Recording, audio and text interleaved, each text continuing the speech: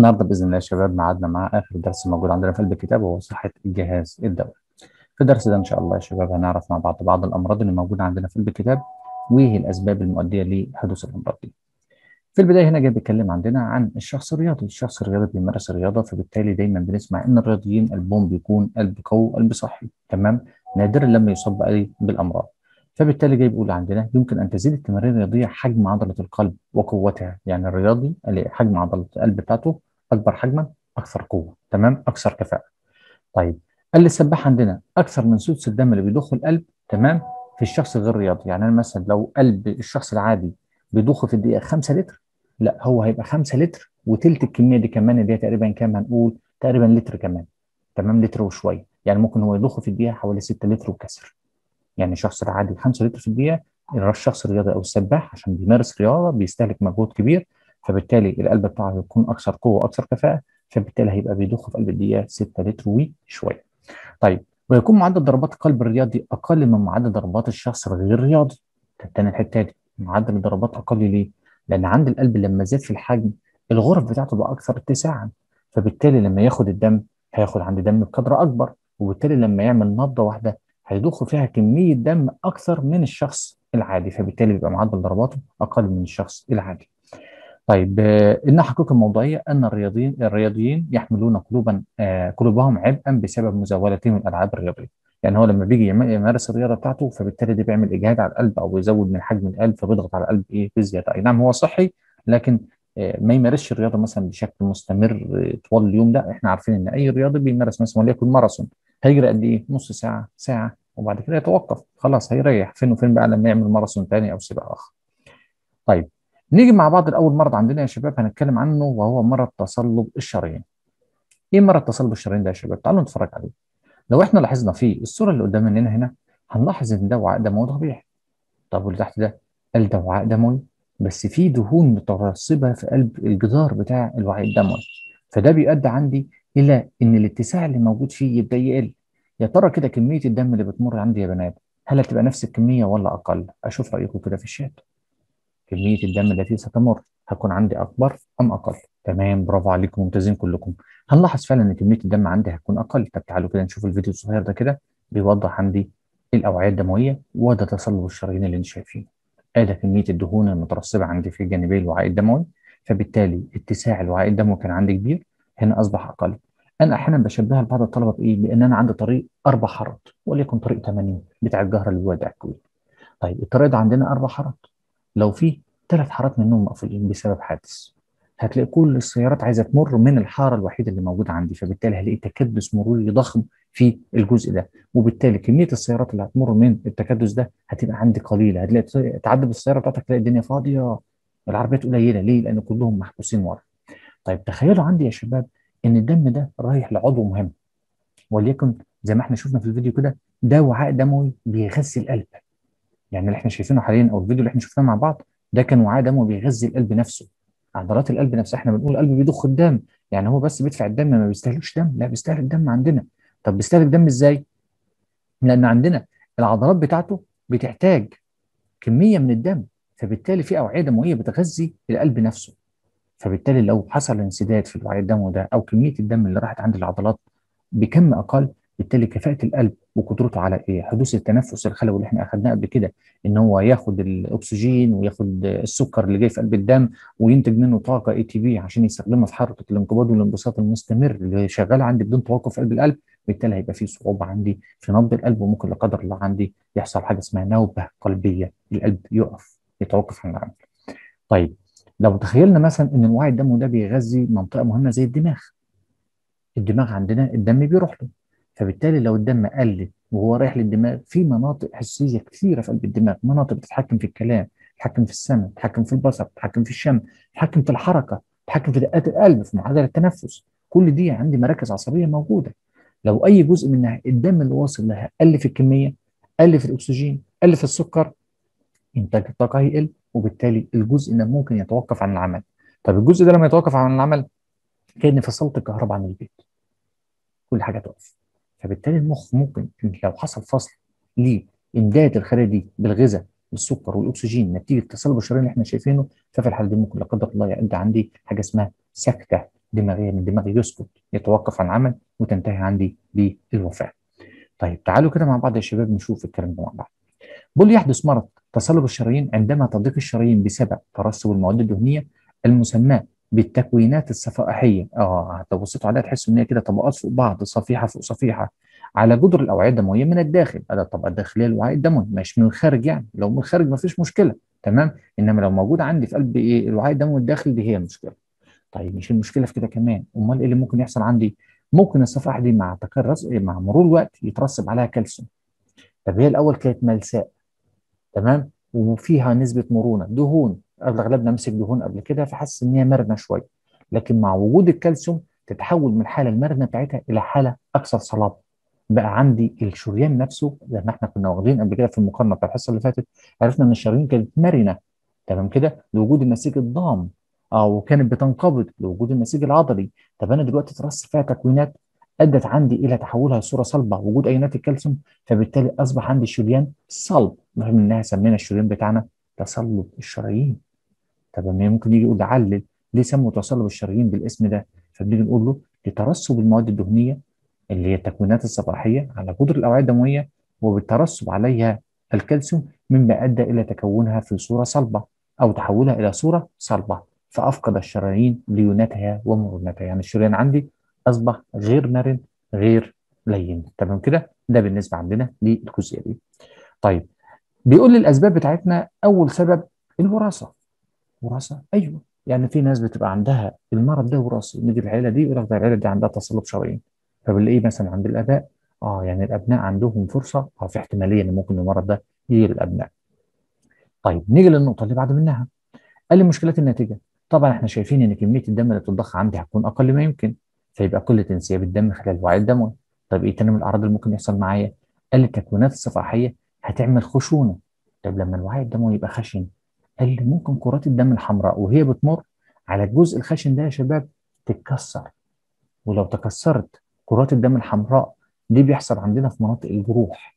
يعني لما يكون في جرح أنا خدشت الجرح بتاعي أو جلدي اتخدش حصل جرح كرات الدم الحمراء وهي طالعة بتبقى ناعمة جدا ما بتستحملش أي سطح خشن. مجرد ما تقابل خشونه على طول تقوم منفجرة. عاملة زي البالونة. أي جسم مجرد بيلمسها على طول تقوم منفجرة. فنفس الوضع كرات الدم الحمراء. اغشيتها رقيقه جدا. بمجرد إن هي تلمس أي سطح خشن اللي هو حدث عندنا بسبب تصلب الشرايين وتحولها إلى حاله صلبة بسبب أيونات الكالسيوم ففي الحالة دي كرات الدم الحمراء تتكسر. طيب التكسر ده الطبيعي عندي في الجسم إن هو يبدأ يكون مواد بروتينية الهدف منها إن هي معتقدة إن في جرح. المفروض إن أنا عندي لما يكون في جرح عادي كرات الدم الحمراء أول ما تتهتك وتتقطع بالمنظر ده أو تنفجر تبدأ تتكون عندي مادة بروتينية بتكون دايبة في الدم تتحول عندي لصورة صلبة وتعمل خيوط بروتينية أو شبكة بروتينية تقفل الجرح. فبالتالي ممكن البروتينات دي تشتغل معايا وتبدأ تكون لي جلطات بداخل الاوعيه الدمويه وتبدأ بقى الجلطة تتحرك. الجلطة دي عاملة زي حادث السيارة على حسب المكان اللي هتقف فيه. أي جزء وراه منه هيتشل على طول. يعني لو جلطة جت وقفت في وعاء دموي مثلا بيغذي منطقة الكلام في المخ خلاص يفقد القدرة على الكلام. إيه بتاع عصب بصري بتاع رؤية وحصل جلطة في العصب البصري أو الوعاء الدموي اللي بيغذي العصب البصري. يفقد الإحساس بالرؤية. تمام في السمع نفس الوضع. إيه في المخيخ المخيخ ده بتاع توازن العضلات. آه يبقى في الحالة دي هيفقد القدرة على توازن العضلات. فيبقى عندنا التكوينات الصفائحيه بسبب الخشونة بتاعتها. ممكن السطح الخشن يعمل جلطات والجلطات دي لي المرضين اللي ممكن نقول عليهم لما تسد المجرى بتاع الدم على حسب المكان اللي هي سدته. فمن أكثر الأماكن اللي هو مركز عليها مكانين. تمام؟ اللي هو مين؟ قال لي بالنسبة للقلب إن هو يقفل أي شريان خاص بتغذية القلب تمام فبنسميها نوبة قلبية أو ممكن يقفل شريان رايح للدماغ ففي الحالة دي بنسميها سكته دماغية. طيب تعالوا كده مع بعض نشوف عندنا ادي شكل الجلطة من الجلطتين. الجلطة اللي قدامنا دي دي موجودة في وريد ده المنظر اللي قابلته يعني بيوضح الجلطة أو بيوضح شكلها يعني إيه أفضل شوية. ادي شكل كرات الدم الحمراء تمام؟ كرات الدم الحمراء ممكن نتيجة سبب ما تجمعت مع بعضها وتعمل عندي جلطة. تمام؟ ممكن ده السبب اللي قدامنا ده يا شباب يكون بسبب الراحة، الناس اللي بتنام فترات طويلة ممكن يحصل عندهم جلطات في الأوردة. تمام؟ إحنا شفنا الحالة اللي فاتت دي اسمها تصلب الشرايين يعني بتحدث في الشرايين. تمام؟ لكن الصورة اللي قدامنا دي مش مرتبطة بالمنهج بس إيه يعني بنربط المعلومة. فده عندنا في الأوردة. الأوردة اللي هي اللي بتاخد الدم ترجعه للقلب. فبعض الناس بيناموا فترات طويلة أو بعض الناس ربنا يعافي الجميع بيكون طريح الفراش مغمى عليه في المستشفى في غيبوبة تمام مصاب كورونا ومحجوز في المستشفى ماشي في العناية المركزة فبالتالي ما هوش حاسس أو مغمى عليه يعني فترة طويلة لو ما تعملوش مساج يوميا أو حركة أو تمارين لسماع علاج طبيعي يومي في الحالة دي حركة الدم في قلب الأوعية الدموية هتقل فرصة تكون جلطات هتبدأ تزيد وعلى حسب المكان. طيب تعالوا نشوف الجلطات ممكن تعمل إيه؟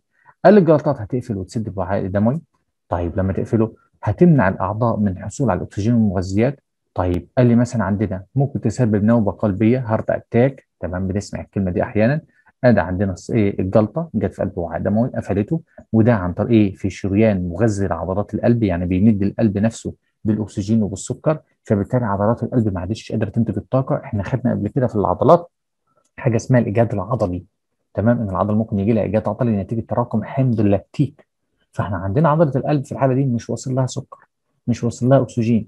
طب نفترض إن عندها شوية سكر هتبدأ تعمل تنفس لا هوائي عشان تنتج حمض اللاكتيك هيعمل لها إجهاد. تمام كده؟ طب لو ما فيش سكر كمان ولا في أكسجين يبقى في الحالة دي العضلة مش هتشتغل هتتوقف عن العمل. يبقى ده heart attack أو النوبه القلبيه نتيجة انسداد الشريان التاجي بنسميه شريان تاجي وده المغذي لعضلات القلب. سكتة دماغية ادى وعاء دموي بيغذي الدماغ. وحصل فيه جلطة. الجلطة دي كان الشريان اللي رايح عندي ده بيغذي كل المناطق العصبية اللي موجودة عندي هنا في قلب الدماغ. طيب لما جت الجلطة عندي وقام جاي واقفة في المكان ده بالتالي منعت الدم إنه يوصل لكل المناطق العصبية اللي موجودة عندي في الدماغ وبالتالي الدماغ يجي له سكتة دماغية. ها أي مشاكل في الكلام ده يا شباب لحد الآن؟ حد عنده أي سؤال أو جزئية في الموضوع ده؟ لا تمام. تمام. نيجي بقى عندنا لأنواع الكوليسترول. إحنا عندنا الدهون اللي هي ترسبت في قلب الشرايين ديتي بتكون بسبب الكوليسترول. وبنلاقي عندنا اختصارين ال دي ال و إتش دي ال. ماشي كده؟ ودول اختصارهم البروتين الدهني منخفض الكثافة فبنقول low المنخفض. تمام؟ طيب والاتش هاي البروتين الدهني مرتفع الكثافة. دول اتنين من البروتينات الدهنية يعني بروتين ودهون في نفس الوقت. تمام كده؟ عشان واحد بيجي يقول لك آه تصلب الشرايين يبقى إحنا دلوقتي بنتكلم عن دهون أو كوليسترول المعنى العادي بتاعه إن هو دهن مادة دهنية. لا هو بيكون مرتبط مع بروتينات. فبنديلهم الاختصارين دول. طيب هل الاثنين دول بيسببوا مشاكل؟ قال لي لا مش الاثنين واحد منهم بيسبب مشكلة منخفض الكثافة هو ده المصيبة ده اللي بيزيد من ترسب التكوينات الصفائحيه بيسبب إيه؟ مرض تصلب الشرايين لكن مرتفع الكثافة لا ده يقلل يبقى إحنا عندنا منخفض الكثافة تمام يزيد آه اخد بالي إن الاسم معكوس مع الإيه؟ مع السبب بتاعه أو التأثير بتاعه. منخفض الكثافة واحد يقول منخفض الكثافة أكيد ده بيقل يعني لا ده ده اللي بيزيد. لكن مرتفع الكثافة هو اللي بيقلل من تشكل التكوينات الصفائحيه. اوعى اختار ما بين الاثنين. ممكن الاب تعمل لي مقارنة ما بين الاثنين لو حابب تجيب لي اختبار في الجزئية دي قارن بين الاثنين تمام ما بين ال و LDL من حيث التسبب في المرض أو فرصة إصابة المرض آه ده يزيد ده يقل. ال دي ال يقلل الاتش دي ال الاسف ال ال يزيد إنما ال HDL يقلل تمام طيب ممكن تجيب الايه الاسم بالعربي وهي برضو قارن ما بين إن هو بيزيد أو بيقلل قال لي بالنسبة للدهون LDL قال لي تزيد النسبة المرتفعة من LDL إلى ال HDL في الدم من خطورة تصلب الشرايين. يعني كل ما النسبة بتاعت LDL تكون أعلى يبقى في الحالة دي تزيد الفرصه طب لو زاد عندي ال HDL يبقى الفرصه عندي تقل. يبقى أنا عندي العملية من الاثنين عكسية. زاد LDL يقل ال HDL تمام كده؟ قال ده يزيد ده. وعلى حسب كل واحد وكميته. كل ما زادت كمية واحد منهم هتسبب عندي يا زيادة الفرصة يا قلة الفرصه عندي للإصابة. طيب مين يقرأ لنا العبارة دي؟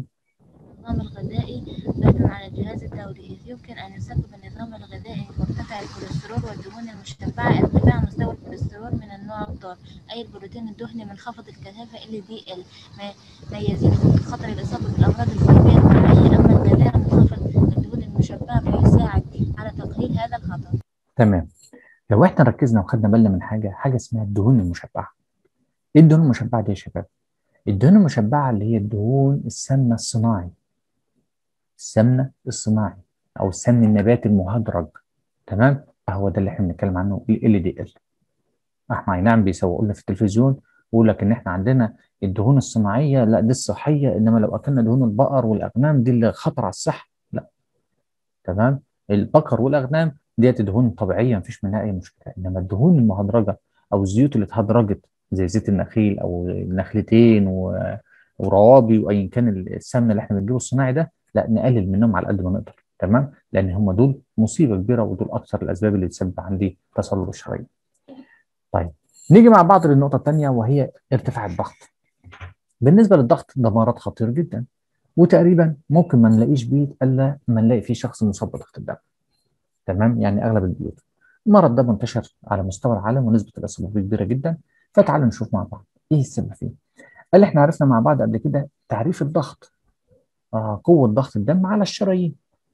أشوف ضغط الدم نفسه على الشرايين. آه فأنا دلوقتي عندي مريض الضغط عنده الضغط على الشرايين عالي. فبيقول عندما تزداد قوة ضخ الدم خلال الاوعيه الدموية والمقصود بها عندنا اللي هي الشرايين لأن القلب بيضخ الدم في قلب الشريان. ده بيكون أقوى حتة أقوى جزء واصل للدم اللي هو الشريان اللي خارج من القلب بيبقى قوة عضلات القلب قوية وبتضغط عند الدم بقوة فده أكثر مكان فيه أكثر ضغط. طيب قال لي بيكون ممكن يكون في ارتفاع مؤقت. ممكن يكون في ارتفاع مؤقت وطبيعي تمام؟ ارتفاع مؤقت طبيعي إزاي؟ ماما قالت لك يلا أمك اغسل الصحون. هو أنا كل يوم اللي هغسل الصحون؟ ما أختي قاعدة هي على الموبايل طول اليوم ليه هي ما تغسلش؟ آه ده ممكن ضغطك يترفع فيه. بس الرفع ده هيكون مؤقت فترة من الوقت. هتقول لك يلا يا جاذبة قومي. حاضر يا ماما ما تقوم واخدة بعضك آه لو قلت مين اللي اتقاله كده كله هيرفع ايديه ماشي. فده ارتفاع مؤقت. ده ارتفاع إيه؟ مؤقت يعني فترة زمنية قصيرة. لكن هيرجع لوضعه الطبيعي بمجرد زوال إيه؟ المؤثر بتاعه. لكن اللي إحنا بنتكلم عنه مريض الضغط. مريض الضغط عندي المرض مستمر معاه ولازم يمشي على علاج. إن ما مشاش على علاج هيسبب له مشاكل وممكن لا قدر الله يؤدي لوفاته. طيب تعالوا نشوف مع بعض. قال الارتفاع المؤقت قد يكون بسبب التمارين الرياضية. واحد قام يلعب على العجلة الرياضية قام يتمشى شوية قام يجري قام يلعب كورة. ففي الحالة دي ضربات قلبه هتزيد معدل ضخ الدم هيزيد قوة ضغط الدم على الشرايين هتزيد لكن بانتهاء ممارسة الرياضة هيبدأ القلب بتاعه يهدى. طيب أدي أول حاجة عندنا. الحمى واحد سخن. تمام؟ سخن ده يعني معناه في ميكروب في إجهاد. مثلا ممكن تكون معدل التنفس بتاعه ضعيف ففي الحالة دي ضربات القلب هتزيد عشان تدعم الجسم وتدي له كمية أكبر من الاكسجين الجسم محتاج طاقة أعلى لأن في الوقت ده مناعة الجسم بتكون شغالة بأقصى طاقة ليها وقاعدة تصنع عندي حاجة اسمها أجسام مضادة. ففي الحالة دي برضه نفس الفكرة ممكن يكون عندي زيادة في الحاجة في الأكسجين زيادة الحاجة للطاقة فبالتالي هيزيد معدل التنفس الإجهاد مجهد مجهد بسبب إيه؟ والله كنت بساعد ماما في البيت وبنظف البيت عشان كل سنة وأنت طيب يا أستاذ العيد على الأبواب وبتاع وعايزين نخلي بيتنا نظيف وبتاع عشان احتمال يجي لنا ضيوف أو حد يعبرنا ويجي يجيب لنا عاديه ولا كلام من ده طبعا احلام يعني. فالمهم يعني هتيجي تبص تلاقي ممكن تكون المجهدة في مجهود البيت تمام فبالتالي ممكن يحصل إجهاد وبالتالي يكون في ارتفاع مؤقت. لكن في النهاية أي مؤثر من المؤثرات الثلاثة هيعد نسبته الطبيعية بزوال المؤثر. لكن نيجي بقى للارتفاع لمدة طويلة، إيه اللي ممكن يحصل عندي يا شباب؟ قال لي لا طالما إحنا بنتكلم في ارتفاع لمدة طويلة يبقى إحنا كده المرض مستمر معانا. القلب هيجهد ليه؟ لأن القلب عنده ضربات القوة بوم بوم بوم بأقصى قوة عنده عشان يضخ الدم على الشرايين. ممكن يكون من السبب اللي إحنا بنقول عليه ده يا شباب تصلب الشرايين. يعني إيه؟ الوعاء الدموي اللي كان رايح يغذي الدماغ كان ضيق. فالدم بيوصل للدماغ بكمية قليلة. فالدماغ يبعت إشارات للقلب يقول له مالك يا قلب في إيه؟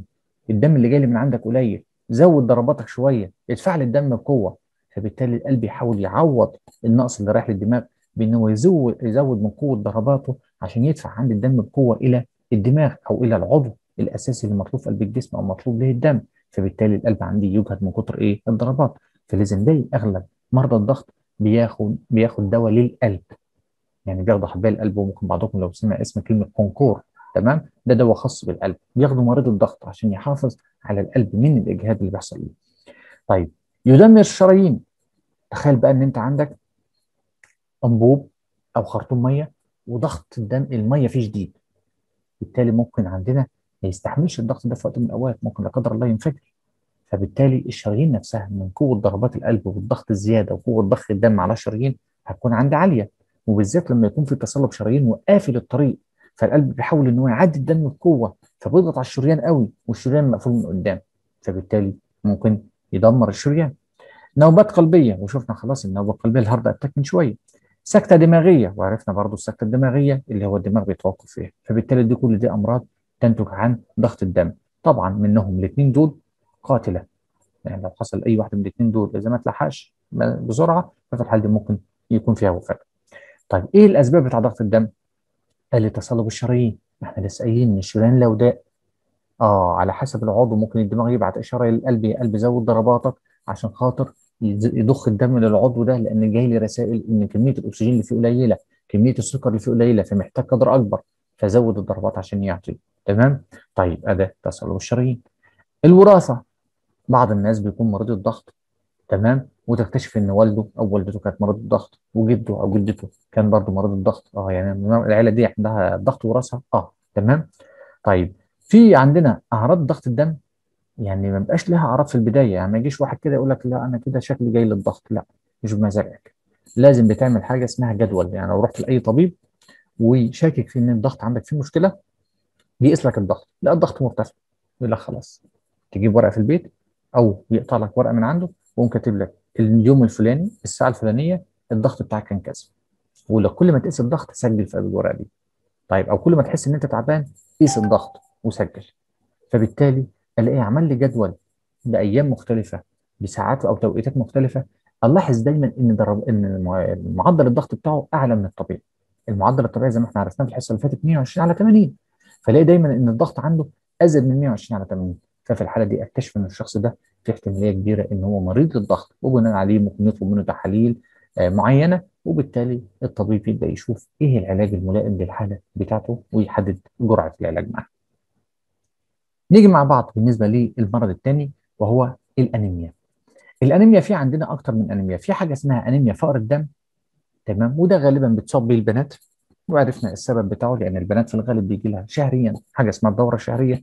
بتفقد كمية من الدم بتختلف المدة بتاعتها من واحدة لواحدة في واحدة ممكن تقعد ثلاث أيام واحدة ممكن تقعد خمسة واحدة سبعة واحدة 15 يوم. ففي اختلافات. وفي بيختلفوا برضه في كمية الدم اللي بتخرج. في ناس بتخرج بكمية كبيرة في ناس بتخرج بكميات قليلة. كل ده عندي اختلافات. لكن البنت مثلا أو حتى المتزوجة اللي بي- بيحدث عندها العملية ديتي بنلاقي ممكن في بعضهم بيكون عندهم كمية دم كبيرة. بتفقد شهريا. ففي الحالة دي يعني ممكن توصل لبعض الاحيان من بعض الناس بتوصفها كأنه نزيف تمام؟ ففي الحالة دي يبقى بتفقد دم بكميه كبيرة يبقى في الحالة دي عندها فقر دم تمام؟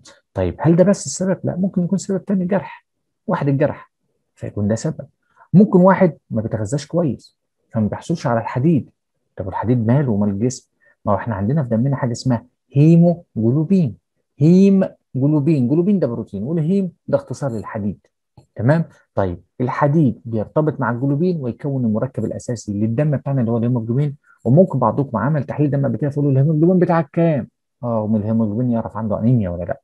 آه طب أنا لو أكلت حديد يعني أجيب مسمار يعني؟ لأ ناكل أكلات فيها حديد ناخد حبوب فيها حديد تمام؟ وبناخدها على توصية طبية يعني مش بمزاجي كده أنا حاسس إن أنا عندي أنيميا أنت بقى يا ماما عندها شريط حديد أخده؟ لأ ما ينفعش تمام؟ لازم الطبيب يكون عامل لي تحليل دم ومنه يكتشف إن أنا عندي أنيميا وبناء عليه يحدد لي جرعه الحديد الملائمه لأن ممكن أي حد ياخد دواء الحديد ده يسبب له إمساك. يعني الله اللي ما يعرفش يعمل براز يبقى البراز متوقف عنده تمام؟ يوقف الحركة الدودية شوية فبالتالي يبقى عنده مشاكل في طرد الفضلات أو السموم من قلب الجسم. فبالتالي الطبيب بيحدد الجرعة الملائمة للشخص.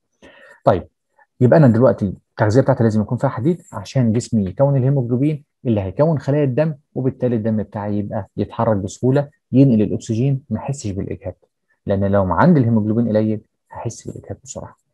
يبقى عندنا الانيميا أو فقر الدم. قال لي بيكون عندي نقص في عدد كريات الدم الحمراء.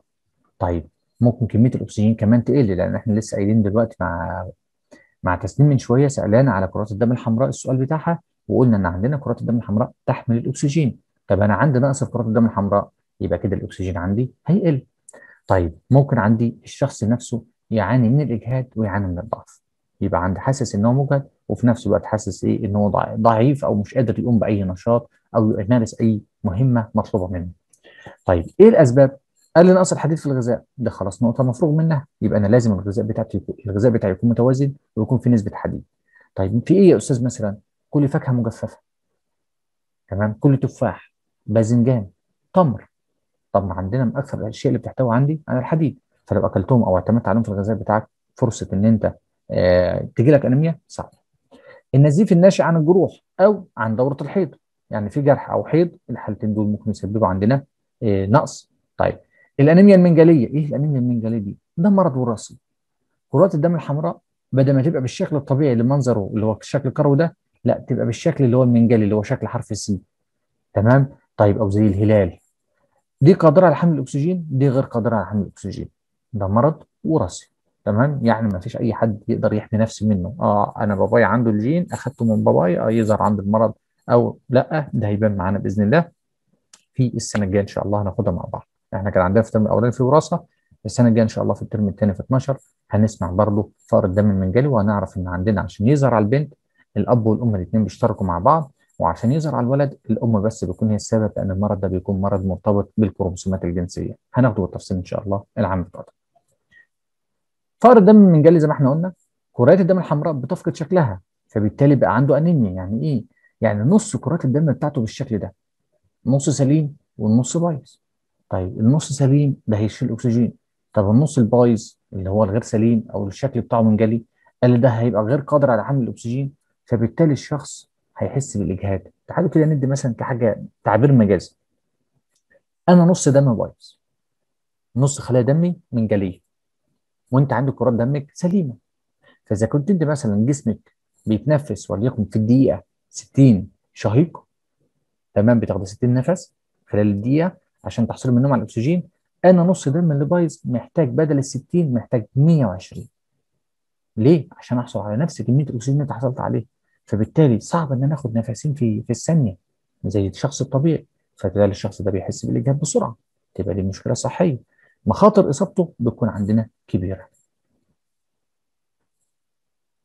قال لي عندنا ممكن انسداد الأوعية الدموية لأن عندي الكرات المنجليه دي ما بتتحركش بسهولة فتقفل لي الاوعاء الدموي تترسب فيه تتكسر فيه تمنع الدم من المرور وبالتالي لما الدم ما ينفعش يمر ففي الحالة ديت برضه هيمنع الدم من الوصول للأعضاء الهامة وبرضه ممكن يهدد الحياة وممكن تؤدي عندي لآلام مبرحة ومضاعفات خطيرة قد تنتهي بالوفاة.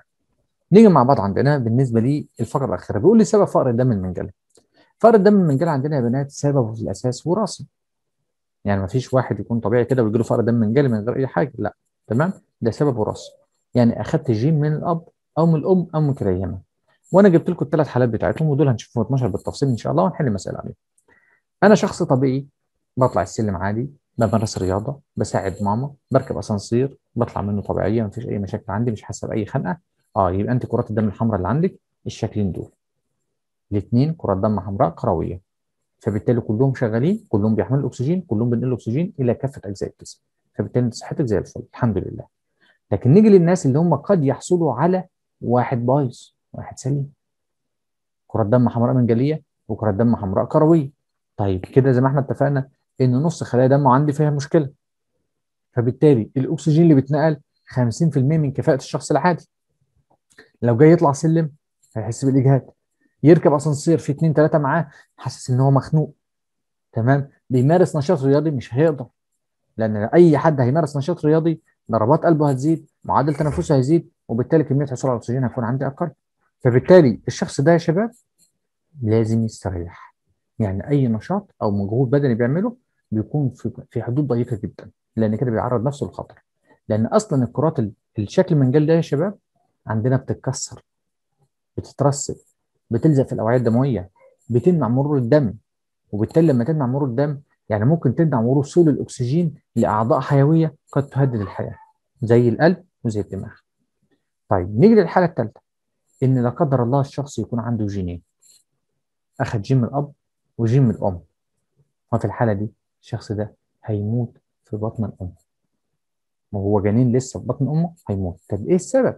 ما عندوش ولا كرة دم حمراء سليمة. إحنا عارفين وإحنا في بطن الأمهات بنحصل على الأكسجين من أمهاتنا من خلال الحب السري.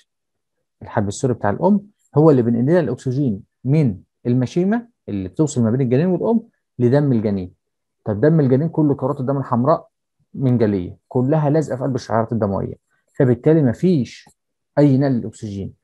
القلب عايز يشتغل مستني الأكسجين يجي له من الحب السري ما فيش أكسجين بيجي المخ عايز يشتغل عايز ينمو الخلايا عايزة تنقسم كل الكلام ده متوقف لأن كل ده بيعتمد عندي على الحصول على الأكسجين عشان يتم بعض العمليات الحيوية اللي منها التنفس الخلوي وإنتاج الطاقة اللي هو ال ATP اللي بنقوم بيه بكل الوظائف الحيوية اللي في داخل الجسم. واضح كده الجزئية دي يا بنات؟ ها أي صعوبة فيها؟ لو حد عنده أي سؤال فيها اتفضل. طيب نيجي مع بعض. نيجي مع بعض بقى للنقطة اللي بعدها وهي سرطان الدم أو اللوكيميا. بعيد عن السامعين وربنا يحفظكم ويحفظ أهلكم جميعا. مرض سرطان الدم ده مرض من الأمراض المنتشرة وحاليا شايفين الإعلانات. إحنا الحمد لله في شهر رمضان اللي هو شهر الخير التلفزيونات يعني بتعكسوا لحاجه تانية اللي هو شهر الشحاته ودايما يحسسونا إن ما فيش إلا مرض السرطان وتبرع واعمل واعمل. السرطان أي نعم من الأمراض الخطيرة اللي موجودة عندنا. تمام كده؟ ومنتشرة بصفة كبيرة بسبب السلوكيات الغذائية الغير صحية والعادات الغير طبيعية. يعني مثلا الناس المدخنين فرصة اصابتهم بالسرطان بتزيد وبالذات لما يكون عندهم أطفال صغار في البيت. بيدخن بيأذي نفسه وفي نفس الوقت بيأذي اللي معاه من الأسرة في قلب البيت. تمام كده؟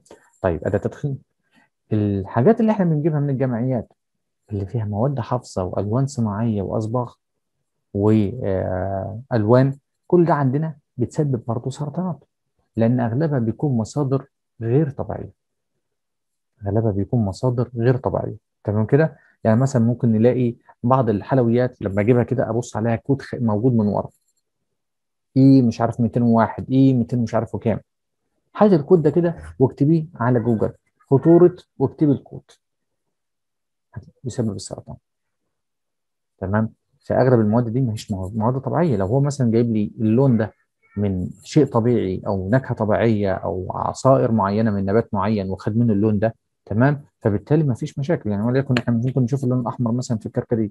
لو هو قدر يستخرج الصبغ اللي موجود في قلب الكركديه ويلون بيه النكهات دي بس هي بالنسبة له عملية مكلفة ماديا فهو بيضطر إن هو يجيب حاجة مستخدمة أو مصنعة صناعيا ويضيفها بحيث إن هي تدي لي الشكل أو اللون اللي أنا عايزه. النكهة بنيجي مثلا يقول لك إيه والله دلوقتي البطاط ده مثلا بطعم الدجاج. هل جاب دجاجة مثلا وعصرها عليه؟ بالطبع لا. تمام؟ ده عبارة عن مواد كيميائية الرائحة بتاعتها تشبه الدجاج. ممكن الطعم بتاعها يشبه الدجاج يبقى الرائحة والطعم تشبه لكن هي في الأساس ما هيش أصلا دجاج. ففي الحالة دي برضو مواد صناعية ممكن تسبب سرطان الدم أو اللوكيميا سرطان الدم عندنا بيجي في حاجة اسمها نخاع العظام. بيجي في نخاع العظام ونخاع العظام الأحمر. طيب أنا نخاع العظام الأحمر من شوية قلت كان بيكون عندي ثلاث حاجات. حد يقدر يقولهم لي إيه الثلاث حاجات اللي بيكونوا نخاع العظام أو النخاع الأحمر؟ الشاطر اللي يقول الثلاث حاجات اللي أنا قلتهم. خلاص شكله مفيش حد بيكتب. شكله ما حدش كان منتبه للجزئية دي. آه تمام. برافو عليك يا تسنيم. ماشي. تسنيم قالتهم لنا هم حمراء وبيضة وصفائح. فبالتالي يا بنات عندنا سرطان الدم لما يجي فيه كرات الدم الحمراء. ما هو جاء في نخاع العظام. ونخاع العظام هو المصنع الأساسي لكرات الدم الحمراء. المصنع الأساسي لكرات الدم الحمراء. فبالتالي ما عادش كرات دم حمراء. طيب كرات الدم البيضاء ما فيش كرات دم بيضاء صفائح دموية. ما فيش صفائح دموية. طب إحنا قلنا كرات الدم الحمراء وظيفتها إيه يا شباب؟ ها أظن الجزئية دي الكل عارفها. إيه وظيفة كرات الدم الحمراء؟ ما أهمية كرات الدم الحمراء؟ عايز الناس تكتب في الشات يا شباب يلا. أتأكد إن أنتوا صحيحين ما بتذاكروش مادة ثانية معايا. تمام شهد وائل برافو. تسنيم إيهاب أحسنتي. ماشي شهد أحمد نورين برافو عليكم صح. الوظيفة الأساسية عندي هي حمل الأكسجين أو نقل الأكسجين. تمام.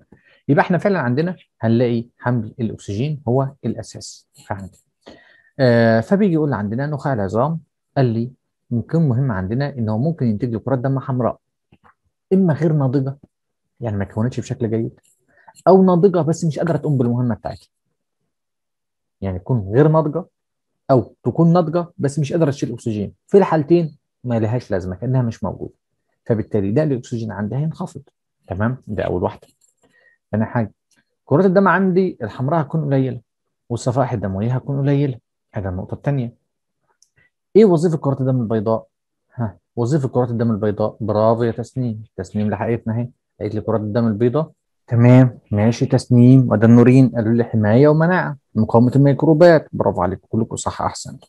ففعلا كرات الدم البيضاء هتبقى عندنا مقاومه الميكروبات تمام أو المناعة. لكن دلوقتي لو نفترض إن كرات الدم البيضاء يا بنات مش موجودة ما اتكونتش. أو تكونت لكنها غير ناضجة غير قادرة على أداء مهمتها. تمام؟ ففي الحالة دي برضه هتسبب مشاكل.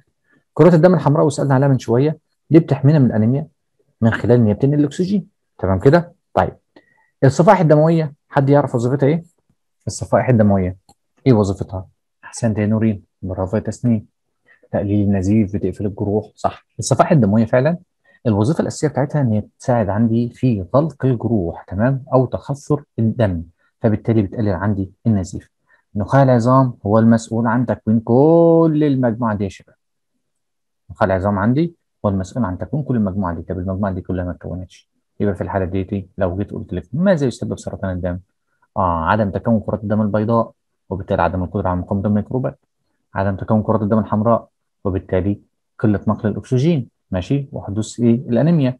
آه بتاع الصفائح الدمويه قلة تكوين الصفائح الدمويه وبالتالي يحدث نزيف لا تتخثر لا يتخثر الدم عند الجروح. كل ده عندي مشاكل هتحدث تمام؟ طيب. علاج السرطان. إيه العلاج بتاعه؟ العلاج بتاعه ممكن نسمع إن في نقل دم إن مريض السرطان بيحتاج نقل دم أو اللوكيميا بالذات محتاج نقل دم إن إحنا نديله دم بكميات كبيرة عشان يديله كرات دم حمراء وكرات دم بيضاء وصفائح دموية. طيب في بديل. قال لي في بديل بس اسمه زرع النخاع أو بذل النخاع تمام؟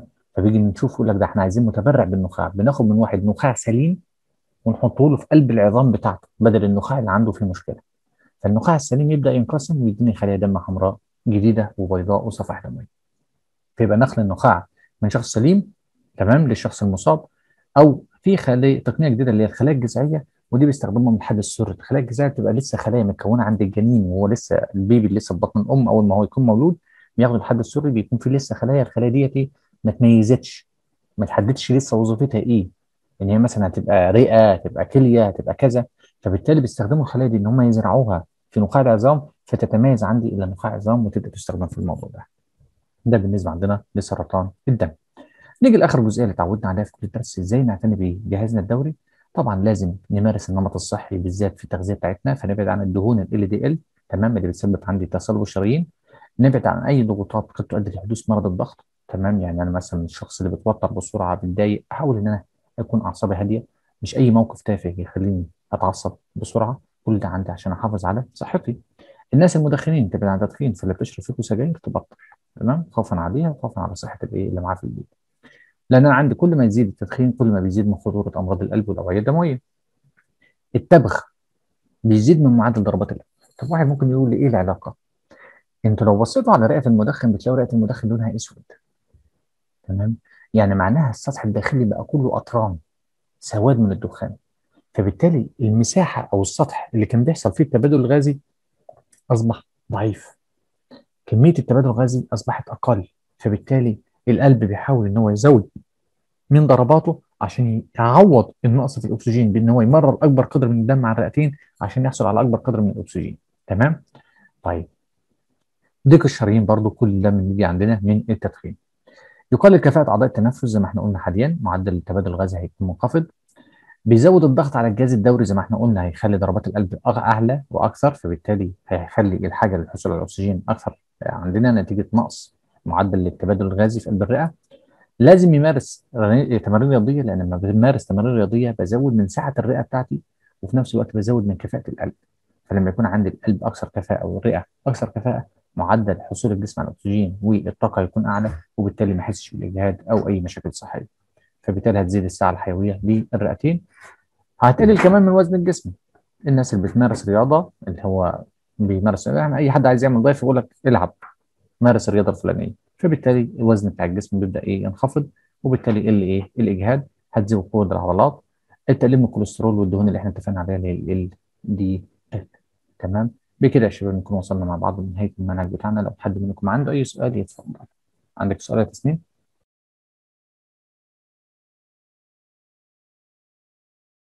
نيجي عندنا بالنسبة للجزء الأولاني في مقدمة عادية موجودة في كل درس من البداية بيقول عندنا القلب بتاعنا من أقوى العضلات اللي موجودة في قلب الجسم واللي بيقوم عندنا بنقل كمية كبيرة من الدم خلال الدقائق المستمرة طول اليوم وعضلة شغالة بدون توقف. زي ما إحنا عارفين ان هو خلال الدقيقة الواحدة بيمر في القلب حوالي 5 لتر. قبل كمية الدم اللي بتمر خلال اليوم الواحد 21844 يعني القلب بيضخ حوالي 43000 لتر في اليوم يعني تقريبا عندنا مش عارف قد إيه سبعة افيال ضخمة تمام؟ دي مقدمة عادية بيتكلم فيها عن قد إيه قوة عضلة القلب. بالنسبة لعضلة القلب زي ما إحنا شايفين يا بنات عرفنا إن الجهاز الدوري عند الفقاريات وإحنا اخذنا من أول الأسماك والبرمائيات والزواحف والطيور والثدييات الكلام ده كان في عاشر في الترم الأولاني في الترم الثاني وإن إحنا اخذنا ان كل الأجهزة الدورية عندهم جهاز دوري مغلق يعني الدم بيلف في قلب دايرة مقفولة. فين الدايرة بتاعتنا؟ قال ده القلب معانا أهو. الدم هيطلع من القلب يروح على الرئتين ويرجع من الرئتين عند على القلب. دي كنا بنسميها الدورة الأولى أو الدورة الرئوية تمام؟ أو بنسميها الدورة الصغرى. ليه سميتها دورة صغرى؟ لأن المسافة قصيرة. القلب بيكون عندي في المنطقة دي. لو أنتوا لاحظتوا هنا في جزء من القلب أهو من الرئة صغير لأن القلب بيكون عندي في الموقف ده أو المكان ده بالظبط. فبالتالي القلب الدم بيمر من هنا يطلع للرئتين ويرجع من للقلب. فبالتالي المسافة قصيرة فسميناها الدورة الرئوية أو الدورة الصغرى. لكن نيجي للدورة الثانية وهي الدم لما يخرج من القلب يروح لباقي أعضاء الجسم كلها. قد يكون الأطراف العلوية قد يكون الدماغ قد يكون الاحشاء الكلية الجهاز التناسلي الأطراف السفلية كل دول عندي هيوصل لهم الدم. آه يبقى هيروح الدم من القلب لأعضاء الجسم ومن أعضاء الجسم يرجع يعود عندي للقلب. ودي الدورة دي كنا بنسميها الدورة الجهازيه أو الدورة الكبرى. يبقى أنا كده عندي دورتين. إيه هما يا بنات؟ نشوفكم كده في الشات. يلا شد حيلكم. بقى إيه ها. تمام. كبرى وصغرى. تمام. الصغرى مع مين؟ بين مين ومين؟ بين نقط ونقط. الصغرى بين نقط ونقط. تمام. الكبرى بين نقط ونقط. الكبرى يطلق على الدورة. الكبرى بالدورة نقط. الدورة الكبرى يطلق عليها الدورة نقط. كلمة واحدة. الجسمية الجهازية. صح. برافو عليكم أحسنت. طيب. جاي بيقول لي خلاص عرفنا إن هو جهاز دوري مغلق وعرفنا إن عندنا ده سؤال علل. علل يطلق على الجهاز الدوري لدى الإنسان جهاز دوري مغلق. فبنيجي نقول له لأن القلب هيضخ الدم يمر في الأوعية الدموية اللي بتتفرع عند الأفرع كثيرة ويعود إلى القلب مرة أخرى. يعني طلع من القلب وراح لأعضاء ورجع للقلب. فلازم نسميه جهاز دوري مغلق. طيب نيجي بعد كده عندنا الدورتين اللي إحنا اتفقنا عليهم. عندنا دورة صغرى ودورة كبرى. لو جينا عندنا هنلاقي تركيب القلب الأول أربع أجزاء. إيه هم اتنين أوزين اتنين بطين اتنين أوزين اتنين بطين أوزين أيمن بطين أيمن. أوزين أيسر بطين أيسر. أوزين أيمن أوزين أيسر بطين أيمن بطين أيسر. يبقى أنا عندي كام أوزين وكام بطين عدد حجرات القلب. كم عدد حجرات القلب؟ تمام يا نورين أحسنتي. ماشي يا تسنيم برافو. تسنيم كانت عايزة تكتب الاذينان والبطينان فلقيتني قلت كام حجرات؟ قامت كاتبه أربعة أنا لسه همسح. أربعة وابعت ماشي يا تسنيم. تمام برافو عليك. عرفنا كده مع بعض ادي الحجرات بتاع القلب اللي موجود عندنا. دايما الجانب الأيمن للقلب يا شباب دم زفر. يعني إيه زفر؟ يعني فيه ثاني أكسيد الكربون عشان ما ننساهاش. الجانب الايمن للقلب دم زفر. دم فيه ثاني أكسيد الكربون. لكن الجانب الأيسر للقلب دم مؤكسج دم يحتوي على الأكسجين. الصيغة بتاعتنا في الكتاب زي ما اتفقنا يقول لي غني بالاكسجين فقير الأكسجين. غني بالاكسجين فقير الأكسجين. دي الكلمة اللي بيركز عليها قوي طيب عرفنا مع بعض إن أنا ببدأ دايما من الاذين الأيمن لأن ده الاذين اللي جمع الدم من الجسم. هياخده من الاذين يعطي لمين؟ من الاذين الأيمن يعطي مين؟ أو هتكتب زفر في الامتحان الابيض زفرك على طول. ها. تمام بطون أيمن. البطون الأيمن هيعطي لمين؟ ده اسمه إيه؟ للناس المذاكرة أو قرأ ده شريان بس كان اسمه شريان إيه؟ شريان. اللي خارج من القلب شريان اللي داخل اسمه وريد. آه يبقى ده رايح للرئتين فيبقى اسمه شريان رئوي شريان رئوي عشان رايح للرئة. تمام كده؟ يبقى إحنا الاذين الأيمن ده اللي جمع الدم. وكنا عارفين إن هو بيجمع من وعين دمويين وريد اجوف علوي وسفلي. فتحتين ليه. فتحة بتجيب من تحت وفتحة بتجيب من فوق. تمام؟ ضخ عند الدم للبطين عن طريق الصمام إحنا عارفين اسمه اللي هو ثلاثي الشرفات. يرجع البطين يضخ الدم عندي لشريان. طب الشريان ده رايح لمين؟ آه ده رايح عندي للرئتين يبقى اسمه شريان رئوي. فيروح عندي يغذي الدورة الصغرى اللي هي الدورة الرئوية. راح عندي للرئة طيب الرئة عندي بتعمل إيه؟ هل يا ترى الرئه تقلل الأكسجين ولا تزود أكسجين؟ ما اهميه الرئه؟ ما اهميه الرئه؟ تمام تزود الأكسجين فيرجع الدم عندي غني ولا فقير بالأكسجين؟ يعود الدم من الرئتين غني أم فقير بالأكسجين؟ تمام ربنا يجعلكم الاغنياء يا رب ويبقى معاكم فلوس كتير تفتكروني كده بأي حاجة. طيب فيرجع الدم عندي من الرئتين غني بالأكسجين فيصبح الجانب الأيسر زي ما اتفقنا إن هو غني بالاكسجين أكسجين أكسجين. الاذين الأيسر هو المستقبل للدم من الرئتين. ممكن تلاقي السؤال جاي يقول لك يعود الدم من الرئتين إلى القلب إلى الحجرة نقط. الحجرة التي تستقبل الدم الدم من الرئتين هي نقط. ها. ده أنت نفسك قوي يا شهد. يبقى عدى على يديك المريض. ها. يلا. الزين الأيسر برافو عليكم تمام؟ طيب. يبقى إحنا عندنا. طب بيستقبلها بكام وعاء؟ الوعاء الدموي اللي داخل للأذين اسمه إيه؟ وريد ولا شريان؟ الوعاء الدموي الذي ينقل الدم إلى الأذين يصل الدم إلى الأذين. هل يا ترى اسمه شريان ولا وريد؟ برافو. ممتازين كلكم فعلا. قلت وريد. حلو. يبقى يعود الدم إلى الأذين الأيسر في صورة وريد. طب حد يعرف كم وريد؟ في حد كده جاوبها من شوية صح. كان في حد شاطر. برافو عليك يا تسنيم صح. تمام. أربع اورده رئويه من كل رئة اثنين طيب حد يعرف الشرايين الرئوية؟ كانوا كام واحد؟ هو كان طالع شريان واحد وبعد كده اتقسم لكام فرع؟ تمام برافو عليك. أنا عندي طلع وهو طالع من القلب كان فرع واحد اللي هو اسمه شريان رئوي هنا ورجع اتقسم عندي فرعين. فرع راح للرئه اليمنى وواحد لليسرى. لكن لما رجعوا رجع عندي من كل واحدة اثنين وريد فبقى عندي أربعة. يبقى كان رايحين اثنين وراجعين أربعة. تمام كده؟ ناخد بالنا من إيه؟ من التكة الصغيرة دي. طيب خلاص بقى عندي الجانب الأيسر كله دم مؤكسج في أكسجين هنا في أكسجين هنا. يبدأ الدم عندي أو الأكسجين الدم المؤكسج يروح عند المين للدورة الأخرى اللي هي الدورة الكبرى أو الجهازية.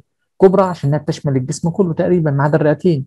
جهازية عشان بتروح لأجهزة الجسم المختلفة أو أعضاء الجسم الأخرى. طبعا الدم رايح للأعضاء. غني ولا فقير؟ الدم يروح إيه؟ يذهب إلى الأعضاء. غني أم فقير؟ أزعل منك. أزعل منك. اللي أول حرف من اسمك نون. ده أنا عامله لك باللون الأحمر. ها يبقى رايح للأعضاء يغذيها. القلب بيبعت الدم للأعضاء هيبعته لهم فقير؟ هو كان بعته للرئتين فقير عشان الرئتين هي اللي هتدي الأكسجين. لكن لما يجي يبعت بقى للأعضاء لازم يبعت لها دم زي الفل دم نقي دم مليان أكسجين دم لونه فاتح. تمام؟ آه فبالتالي يروح الدم عندي غني للأعضاء. يرجع من الأعضاء للقلب غني أم فقير؟ يعود الدم من أعضاء الجسم إلى القلب غني أم فقير؟ تمام يا تسنيم تمام يا نورين تمام يا شهد برافو عليكم. طيب لو جينا قلنا يعود الدم أو الحجرة التي تستقبل الدم الحجرة التي تستقبل الدم من أعضاء الجسم تسمى ب تمام. عن طريق كام وعاء دموي؟ إحنا عرفنا إن هو اذين أيمن. الحجرة اللي بتستقبل الدم الاذين الأيمن. كم وعاء دموي؟ اثنين برافو عليك. حد يعرف أسمائهم؟ برافو يا تسنيم. أحسنتي. أجوف علوي أجوف سفلي. الاجوف العلوي جاي منين؟ من الأعضاء العليا. إيه الأعضاء العليا؟ دماغي وأذرعي. تمام؟ دول الأجزاء العلويه طب السفلي؟ جيب بقى من تحت كله. عايز تقول الأطراف السفلية تقول الجهاز الهضمي تقول الجهاز الإخراجي تقول لي الجهاز التناسلي كل دول عندي بيصبوا عن طريق الوريد الأجوف السفلي. تمام؟ طيب. برافو عليكم. يبقى عندنا الأعضاء تضخ الدم إلى القلب عن طريق الاذين الأيمن ويكون دم عندي فقير الأكسجين. ليه؟ لأن الأعضاء أخذت الأكسجين وادتنا مكانه ثاني أكسيد الكربون والقلب يرجع ياخده ويضخه للرئتين عشان ترجع تعقمه وتنظفه. بنسمي الدورة الأولى اللي هي الصغيرة الدورة الأولى والثانيه بنسميها الدورة الثانية. يبقى الأولى هي الصغرى الرئوية تمام؟ والثانية هي الكبرى أو الجهازيه أو الجسمية. هنا عندنا الرسمه اللي موجودة عندنا في قلب الكتاب بيوضح لي الدورة بتاعتنا. زي ما إحنا شايفين هنا هنلاقي عندنا الاذين الأيمن أدي الوريد الأجوف العلوي اللي جاي من الاطراف العليا أو الأعضاء العليا تمام؟ بيصب في الاذين الأيمن. وده برضه عندي وريد اجوف سفلي برضه بيصب في الاذين الايمن الاذين يعطي البطين البطين يعطي الشريان والشريان يتقسم عندي الاثنين. واحد للرئة اليسرى واحد للرئة اليمنى رايح الدم عندي للرئة غني أم فقير؟ يذهب الدم إلى الرئتين غني أم فقير؟ تمام أحسنتم. ويعود من الرئتين غني أم فقير؟ غني بإيه؟ هل بالأكسجين أم ثاني أكسيد الكربون؟ تمام برافو عليكم ممتازين. يبقى عندي غني بالأكسجين. أحب أنا الفقرة لما أنا أسأل وتبقوا ما شاء الله ورا بعض كده. استمتع أنا بإيه؟ بالإجابات بتاعتي طيب يبقى إحنا عندنا عاد الدم عندي للقلب مرة أخرى غني بالأكسجين. طبعا وصل للقلب لأي غرفة يعود الدم من الرئتين إلى الغرفة نقط في القلب؟ ها أنا عارف إن أنا سألت بس التكرار بيعلم الشطار. تمام. أحسنتم. الاذين الأيسر. برافو. الاذين الأيسر يعطي منه. يضخ الأذين الأيسر الدم إلى نقط. بطين أيسر أو حد يقول لي بطين أيمن لا كل جانب لوحده لأنه شغال مضختين مضخة أيمن ومضخة أيسر. مضخة خاصة بالرئة ومضخة خاصة بالجسم. تمام؟ وبعد كده يطلع عندي الدم يتقسم عندي فرعين فرع يغذي الأعضاء العليا وفرع ينزل الأعضاء السفلى وده اللي كنا بنسميه الاورطي بنسميه الاورطي طيب آه هنا بقى قاعد بوصف لي كل الكلام اللي إحنا قلناه الدورة الصغيرة والدورة الكبيرة والدم رايح مؤكسج لا غير مؤكسج كل الكلام ده عرفناه. وده تركيب القلب بتاعنا زي ما إحنا شايفينه. ادي الاذين الأيمن عندي فتحتين واحد للأجوف العلوي وواحده للأجوف السفلي. تمام نكمل بقية البيانات مرة واحدة. عندي الأذن الأيمن استقبل الدم يضخه للبطين البطين عندي يضخه يطلع عندي في شريان تمام اسمه شريان رئوي. الشريان الرئوي الشريان الرئوي يطلع يتقسم عند الفرعين. واحد يروح لي الرئة هنا واحد يروح للرئة الأخرى تمام على حسب الوضعية. أنا عندي هنا الجانب الأيمن فده هيبقى شريان رئوي رايح للرئة اليمنى. وهنا برضه شريان رئوي بس رايح للرئة اليسرى. الرئتين تنظف وتحصل على الأكسجين ويعود الدم مرة أخرى إلى الأوردة لأن كل ما يرد إلى القلب فهو وريد.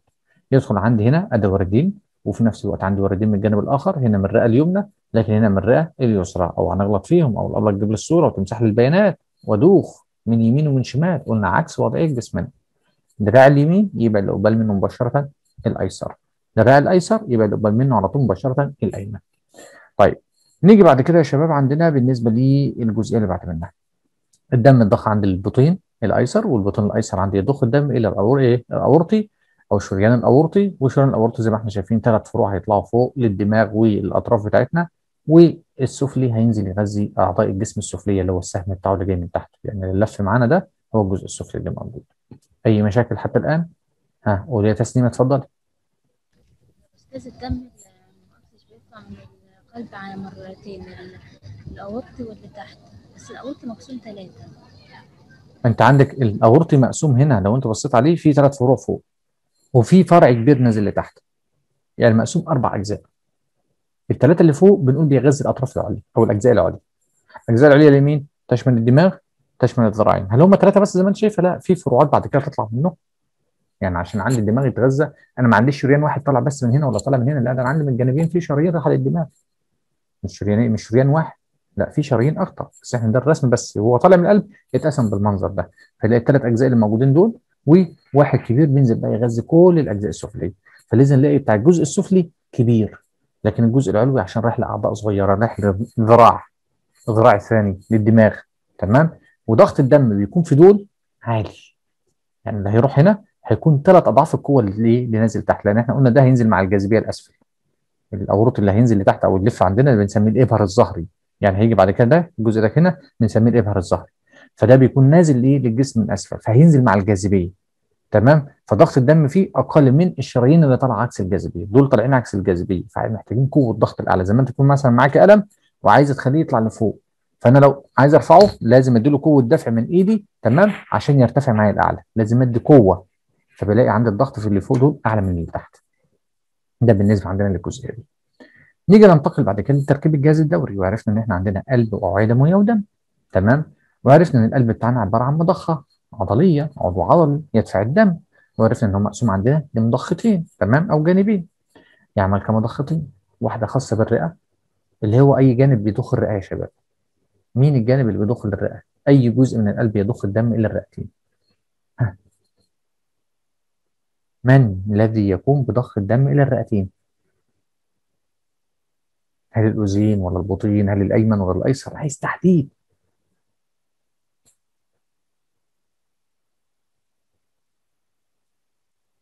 تمام. ها برافو. يبقى فعلا عندنا هيكون من البطين الأيمن هو اللي هيضخ الدم عندي إلى الرئتين. تمام.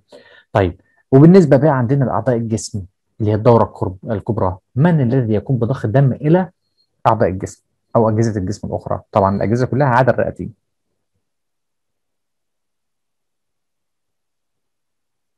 ماشي. الله ينور عليك. البطين الأيسر. أحسن. طيب نيجي بقى بالنسبة لحجم القلب عرفنا ان هو قد قبضة الإيد. أدي إيدي أهي قبضة الإيد بتاعتي قدها. تمام؟ طيب عرفنا الموقع بتاعنا بيكون أسفل عظمة القص. في نص الصدر من هنا كده أسفل عظمة القص. لكن يميل إلى اليسار قليلا. تمام كده؟ يعني واخد ناحية اليسار شوية. فلذا حجم الرئه اليسرى بيكون أقل من الرئه إيه اليمنى. طيب قلنا عندنا في غشاء يحيط بالقلب لحمايته. بيديله حماية بيديله أمان بيديله مساحة للانقباض والانبساط فيه. سميناه الطامور يا أمور. تمام كده؟ فيبقى عندنا غشاء الطامور غشاء مزدوج. رخو. يحب القلب ليه الحمايه أداة واحد. يمنع احتكاكه بعظام كف الصدر. أداة اثنين اذكر وظيفتين للطامور. عرف الطامور. ما المقصود؟ اكتب المصطلح العلمي. كل ده ممكن يجي لي في عبارة واحدة. لا يختلف عنه البلورا. البلورا تمام كده؟ ده اللي يحب الرئتين تمام؟ طيب. نيجي بعد كده عارفين إن أثناء الشك والزفير بالذات بيكون في احتكاك فبالتالي الطامور هيقلل الاحتكاك ده هيفصل ما بين الرئتين وما بين القلب والرئتين أو القلب وعظام الكف الصدري فبالتالي القلب ياخد حريته أثناء الانقباض والانبساط. حجرات القلب زي ما إحنا عارفين وأنتم ما شاء الله عليكم أصبحتم ملتزمين فيها أربع حجرات اثنين أذين واثنين بطين وعرفنا الأذينان اللي بيستقبلوا لكن البطينان هم اللي بيضخوا الدم ويخرجوه من القلب. جينا بعد كده قلنا نفس الكلام اللي إحنا اخذناه قبل كده في الرسمة اللي فاتت هو اللي موجود عندنا هنا بس المره دي مركز على حاجة جديدة وهي الصمامات. تمام؟ إيه وظيفة الصمام من غير ما أذكر اسم؟ ما أهمية الصمام؟ بسرعة يلا. مفيش بيمشي الدم ما بيمشيش ما هوش ماشي على رجليه ماشي صح. مم. ها حد يكتب صيغة تانية كميل في أي صيغة أخرى؟ تمام حلو. برافو. تسمع عايزة تقولها بصوت قول يا تسنيم. سريان الدم في اتجاه واحد آه، ومعاه من الارتداد إلى الخلف مثل فعل الجاذبية أو الضغط. تمام برافو عليك. جابت لي إجابة يعني أحسن من اللي أنا كنت أقولها يسمح بمرور الدم في اتجاه واحد ومنع عودته مرة أخرى. تمام كده؟ هي بتقول لي ممكن يرجع مرة أخرى إزاي؟ بسبب الجاذبية. معايا؟ الجاذبية الأرضية ممكن تخليه يرجع. لا هو كده الصمام هيمنع إن هو يرجع تاني. تمام؟ طيب. وقلنا عندنا ناخد بالنا بقى عندنا من جزئية لو حدد لي اسم الصمام. الإجابة بتاعتنا إجابة زي جميلة وزي الفل. بس طالما جاب لي صمام يبقى أنا الإجابة بتاعتي لازم تكون أكثر دقة. تمام كده؟ يعني قال صمام وسكوت خلاص. يمنع مرور يسمح بمرور الدم في اتجاه واحد ومنع عودته. خلاص. خلص الموضوع كده إجابة كاملة. لكن لو قال لي الصمام الفلاني يبقى أنا أشوف الصمام ده بين مين ومين. وأقول له يسمح بمرور الدم في اتجاه واحد من إلى ومنع عودته. تمام كده؟ طيب نشوف ونجرب مع بعض. شاهد يا وائل. الصمام ثلاثي الشرفات. يقع بين نقط ونقط. شاهد وائل. نعم أنا مش هينفع ها؟ لما تكتبيش أنا بقول لك اتكلمي. آه، أوكي. من الأذين الأيمن والبطن الأيمن. تمام يبقى إيه وظيفته؟ يسمح بمرور الدم آه، في اتجاه واحد من البطين من الأذين الأيمن. إلى البطين الأيمن دون عودة تمام برافو عليك برافو عليك احسنتي طيب نشوف مع بعض. النورين نعم. النورين أين يقع الصمام التاجي؟ أو ممكن نقول اسمه الثاني ثنائي الشرفات. بين الأذين الأيسر والبطين الأيسر. بين الاذين الأيسر والبطن الأيسر تمام. ما وظيفته؟ يسمح بمرور الدم في اتجاه واحد من الأذين الأيسر إلى البطين الأيسر دون عودته. دون عودته. برافو عليك. تمام. نشوف شهد أحمد. إيه يا أحمد؟ أيوة. الصمام الرئوي أين موقعه؟ بين البطن الأيمن والشريان الرئوي. تمام. ما وظيفته؟ بيسمح للدم بالمرور من البطن الأيمن إلى الشريان الرئوي آه، ويمنع عودته مرة أخرى. تمام. يبقى بس نضيف كلمة في اتجاه واحد. تمام كده؟ مين؟ طيب نيجي للأخت تسنيم. الصمام الأورطي أين موقعه ووظيفته؟ بين البطين الأيسر والشريان الأورطي آه، ويسمح بمرور الدم في اتجاه واحد من البطين الأيسر إلى الشريان الأورطي تمام يبقى يسمح بمرور الدم في اتجاه واحد من أو للبطن الأيسر لمين؟ للشريان اللي وراه اللي هو الشريان الأورطي تمام؟ ومنع ارتداده أو منع عودته مرة أخرى طيب قلنا مع بعض زي ما إحنا شايفين كده تركيب القلب أيهما أكثر سمكا؟ هل عضلات الأذينان أم البطينان؟ في الشات يلا بسرعة أيهما أكثر سمكا؟ هل عضلات الأذينان أم البطينان؟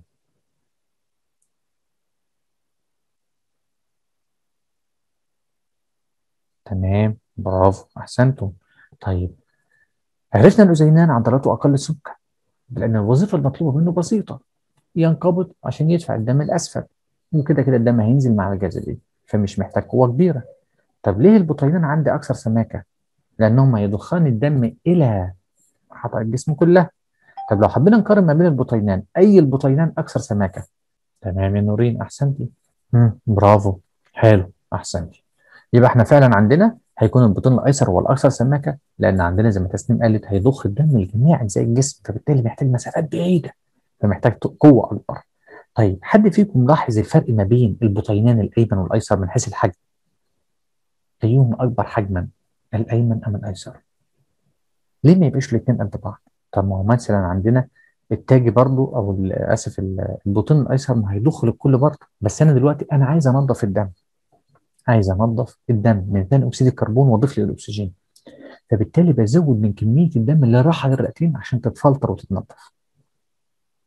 معايا كده؟ تاني. ليه البطين عندي الأيمن مساحته كبيرة عن الأيسر؟ تمام؟ لأن أنا دلوقتي محتاج أج... طيب بنقول يا شباب عندنا إن البطين الأيسر البطين الأيمن عندي أكبر مساحة أو أكبر حجما لأن عايز يضخ دم كمية كبيره للرئتين عشان يتنظف من ثاني أكسيد الكربون اللي موجود فيه ويتم ضخه بالأكسجين. تمام كده؟ فبالتالي أكبر كمية تروح للرئتين يتم فلترتها يتم التخلص من ثاني أكسيد الكربون وحصول الأكسجين. البطون الأيسر عندي بيكون أصغر شوية عشان قوة الضغط بتاعته تكون أكبر ممكن ويتم ضخ عندي الدم إلى جميع أجزاء الجسم. ربنا يبارك فيهم ويحفظهم يا رب. طيب. نيجي بعد كده عندنا للصمامات. خلاص كل ده كلم إيه خلصناه وعرفنا الصمامات وعرفنا وظيفتها وده منظر القلب زي ما إحنا شفناه يا شباب قبل كده نشوفه تاني. ادي منظر مثلا حد يقدر يتوقع البطين ده اي واحد فيهم؟ اللي إحنا شايفينه حاليا ده بطين. حد يقدر يتوقع البطون ده مين؟ مم. لسه ما, ما زلت أستقبل الآراء. ها لسه في واحدة ما جاوبتش. مين اللي خايفه تجاوب؟ ايمن يا شباب. تمام؟ ده الجانب الأيمن. من القلب خلاص ده البطن الأيمن. لو أنتم مركزين فيه هتلاقوا عندنا الأورطة. ده الأورطة. تمام؟ والأورطة إحنا عارفين انهم متصلين بالجانب الأيسر. إنما ده اللي هيطلع عندي ويتقسم فرعين. بان منين الأورطة؟ الثلاث فتحات اللي موجودين عندي. تمام؟ طيب بان منين إن ده الاذين الأيمن؟ الأجوف العلوي والأجوف السفلي ده الأجوف السفلي والأجوف العلوي. وده الجزء عندنا ده الأذين. تمام؟ وده الصمام. أي واحد في دول ده الصمام مين؟ ده الصمام مين؟ بتكلم عن الصمام ده. في صمام أهو في صمام أهو. أنا بسأل عن ده حاليا. ولا واحد جاوب صح. ده ثلاثي الشرفات. ده ثلاثي الشرفات. تمام كده؟ وده الرئوي ده الصمام الرئوي نشوفه تاني أهو. ده الصمام اللي رايح للرئه ده الصمام الرئوي وده ثلاثي الشرفات. لأن أنا عارف إن ثلاثي الشرفات مع عكس الإيد مفيش مشكلة. أهو. دي إيد اليسرى أهي. يبقى ده مين؟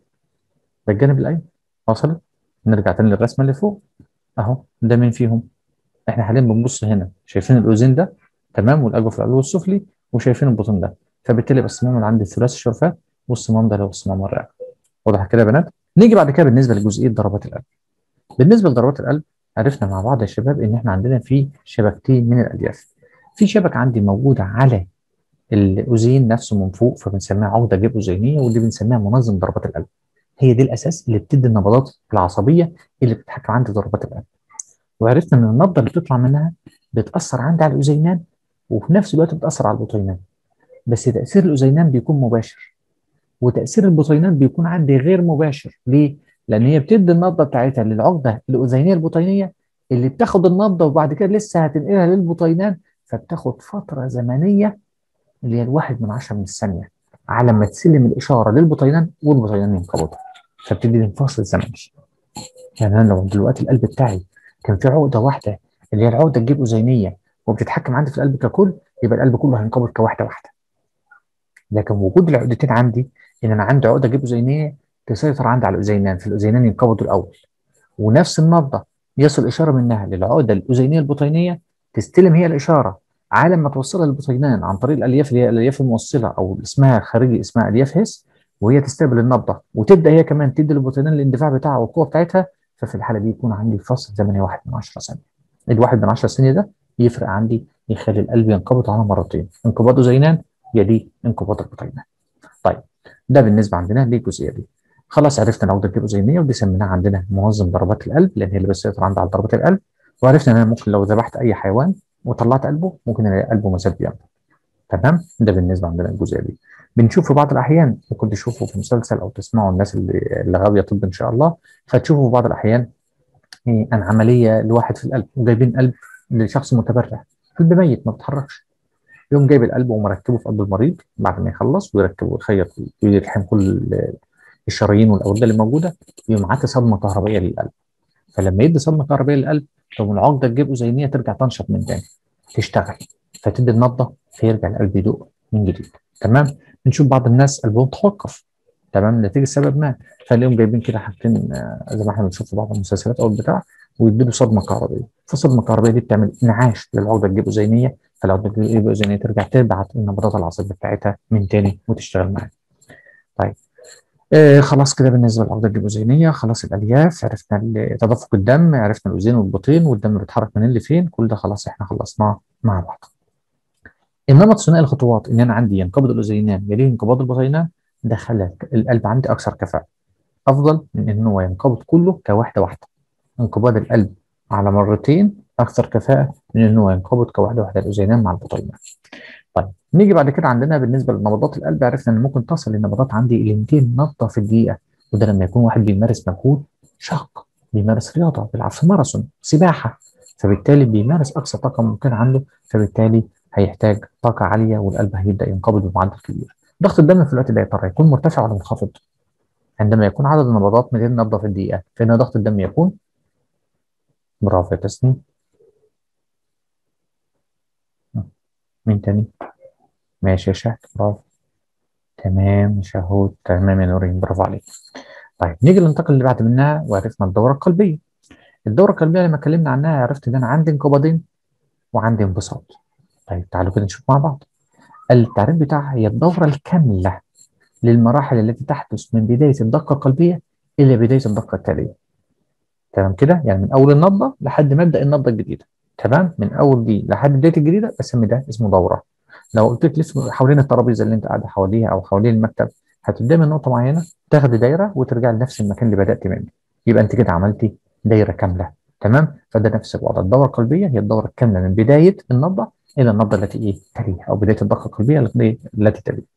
وعرفنا إن عندي انقباض هيبقى عندي انقباض على مرحلتين انقباض أذينان وانقباض بطينان وعندي انبساط بيكون للقلب كله كقطعة واحدة. طيب تعالوا كده مع بعض نعمل مقارنة ما بين الاثنين المراحل سواء الانقباض والانبساط أو الانقباضين مع الانبساط ونشوف بينهم من حيث عده عوامل. من حيث الفترة الزمنية حد متذكر الفترة الزمنية اللازمة لانقباض الاذينان انقباض الاذينان كان بيحتاج فترة زمنية. تمام برافو يا تسنيم. حد تاني؟ أحسنت يا نوري. أحسنت يا شهد تمام برافو عليك. فعلا الليل ده كان واحد من 10 من ثانية. لكن انقباض البطينان كان بياخد فترة زمنية أكبر ولا أقل؟ برافو يا نورين كان جاهزه معانا بالإجابة قالت لنا على طول 3 من 10 ثانية. طيب نيجي للي بعدها عندنا بالنسبة لإنبساط العضلات القلبية. إنبساط القلب ككل. ها قلنا فعلا برافو عليك. يعني بيحتاج فترة زمنية قد مجموع الاثنين اللي عندي 4 من 10 ثانية بالنسبة لحركة الدم يا ترى الدم عندنا هيتحرك منين لفين؟ هيتحرك من إلى هل من الأذين للبطين؟ من البطين للأذين؟ من الشريان للش... للوريد للوريد. فين فين؟ تمام. تسلم بتقولي من الأذين للبطين. حلو. تمام. حد عنده رأي آخر؟ تمام. برافو عليكم. فعلا عندنا من الأذين للبطين. تمام كده؟ طيب. لكن لما نيجي لانقباض البطينان هل البطينان هم اللي انقبضوا المرة دي؟ فيضخوا الدم عند المين؟ آه عندنا على حسب بقى. واحد ممكن يروح للرئة واحد يروح لأعضاء الجسم. فبالتالي بيروح للجسم كله؟ تمام كده؟ يبقى أنا عندي من البطينان إلى الشرايين اللي هتضخ عندي لجميع أجزاء الجسم سواء الرئتين الدوره الصغرى أو أعضاء الجسم اللي هي الدورة الكبرى. لكن لما نيجي عندنا الانبساط زي القلب انبساط. يبقى القلب كله بينبسط كواحدة واحدة. فده هياخد من الجسم كله ويدفع للقلب. تمام كده؟ فيبقى أنا عندي من الجسم للأذين والبطين كمان. تمام؟ طب ليه؟ ما إحنا قلنا قبل كده الجزئيه دي في الشرح بتاعنا إن إحنا عرفنا إن حجم البطين بيكون أكثر اتساعا من الاذين فبالتالي الاذين لو انقبض النبضة بتاعته كميه الدم اللي هتخرج منه غير كافية لملء البطينة تمام؟ فبالتالي ربنا أراد إن أنا عندي القلب لما ينبسط يكون مفتوح الصمام اللي ما بين الاذين والبطين ينزل كم من الدم من الاذين مع البطين فبالتالي يبقى أنا عندي جزء من البطين في نسبة من الدم. مع انقباض الاذين يمتلئ البطين عن آخرة وبعد كده ينقبض البطينان ويضخ الدم لجميع أجزاء الجسم. جينا بعد كده عرفنا إن المنطقة عندنا اللي بيكون فيها انقباض بيكون الضغط عالي. تمام؟ والمنطقة اللي بيكون فيها انبساط بيكون الضغط منخفض. تمام كده؟ يبقى أنا عندي انبساط يبقى ضغط منخفض. عندي انقباض يبقى ضغط عالي. ممكن الجزئيه دي نسأل فيها. لو أنا جيت قلت في انقباض الأذينان ايهما أعلى ضغطا وايهما أقل ضغطا؟ لو قلنا أعلى ضغطا هل الأذينان ولا البطينان؟ الأعلى في الضغط. هل الأذين أم البطين؟ تمام برافو يا تسنيم. ماشي أحسنتي. نورين برافو. شاهد تمام أحسنتم. فعلا عندنا الاذين هيكون أعلى في الضغط. وطبعا البطين هيكون أقل في الضغط فبالتالي ينتقل الدم من أعلى ضغطا إلى أقل ضغطا. يبقى ينتقل من الاذين للبطين لو جينا عندنا في انقباض البطينان تمام كده؟ مين أعلى في الضغط ومين أقل في الضغط؟ أشوف الدم رايح منين؟ لفين؟ آه ده رايح من البطين للشريان. يبقى البطين أعلى ضغطا الشريان أقل ضغطا. طب واللزينين يا أستاذ؟ ما لهمش علاقة دلوقتي. أنا بدور على المكان اللي الدم هيتنقل منه ليه؟ أي نعم الاذينان حاليا ما فيهمش دم لأنه كان لسه منقبضين حالا والدم اللي فيهم لسه ضخين تمام كده؟ فبالتالي ما لهمش علاقة حاليا طيب نيجي للي بعد منها. هنلاقي عندنا نفس الحالة الأولى؟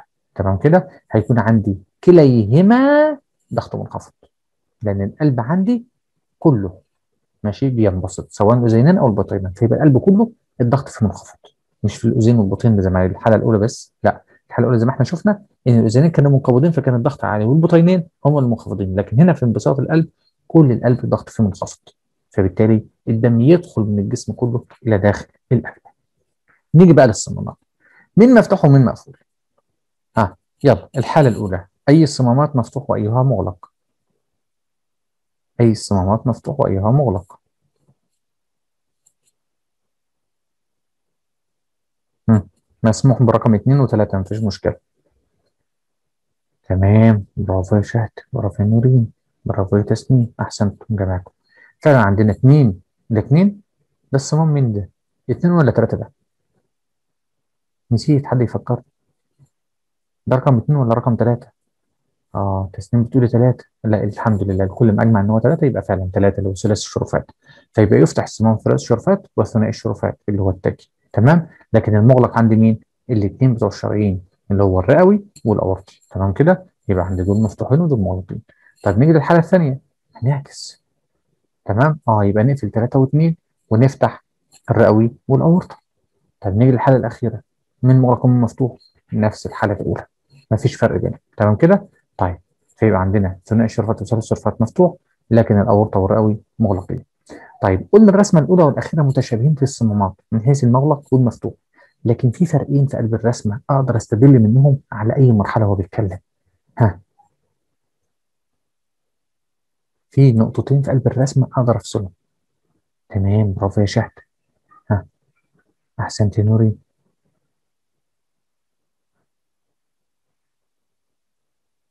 تمام أحسنت. برافو يا تسنيم. فعلا عندنا يا شباب السهم.